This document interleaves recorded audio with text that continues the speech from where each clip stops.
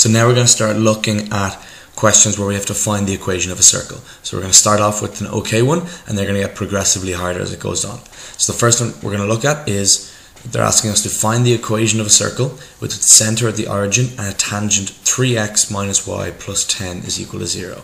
So the first thing I'm going to do is I'm going to draw a quick sketch uh, just so we kind of know what we're talking about.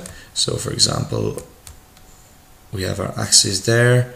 I'll draw a yellow circle which isn't perfect at all, but it doesn't really need to be. Again, it's just a sketch just to get our head straight. And then a tangent there. And we'll call that the point of tangent. Okay, so what do we know about tangents and circles, or even the circle in general? So we know the center point of this circle. So I'll just say the center is going to be 0, 0. Alright, that's the first thing we know. We know this line here. I'm going to write it in. 3x minus y plus 10 is equal to 0. So 3x minus y plus 10 is equal to 0.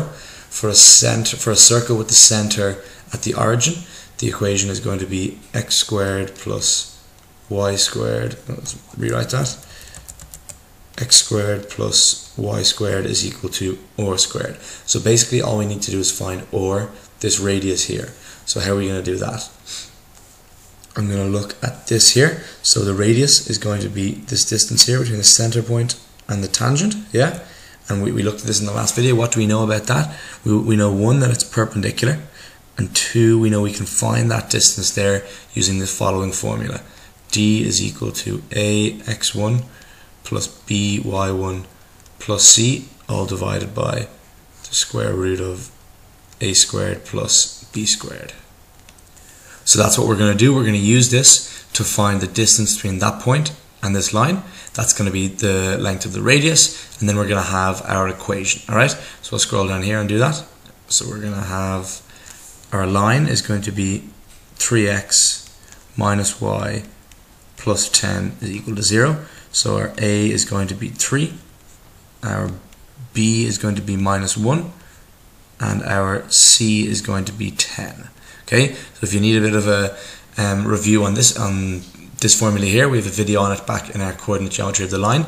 Uh, you can brush up on that. So that's uh, how you get A, B, and C. And now our point, our coordinate, is going to be the center point. So remember the center of the circle is 0, 0, and that's going to be our x1 and our y1. Alright, so I'm going to find D now. So we're going to have that D is equal to AX1, which is going to be 3, by x1, which is 0, plus by1, so that's going to be minus 1 by, again, 0, and then plus c, which is going to be plus 10, uh, modulus around that, and that's going to be divided by 3 squared plus minus 1 squared. Right? Scroll down here and keep going.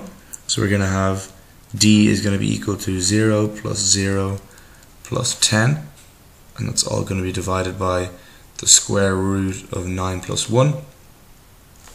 So that's going to mean that d is equal to the modulus of 10 divided by the square root of 10. So that's just going to mean it's going to be 10 over 10. So we're going to take the positive value, or 10 over the square root of 10.